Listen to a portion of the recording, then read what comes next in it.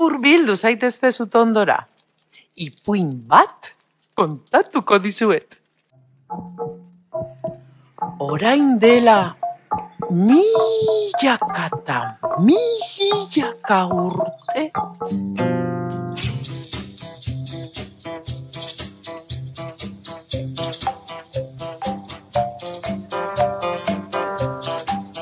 Eta batean, esnatu eta ah!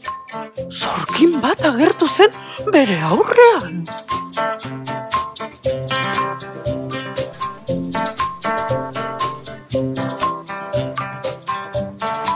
Horren ondorioz, beti arrantza ona izan zuen. Herri horretan, hiru anai bizi ziren. Bat, bi eta...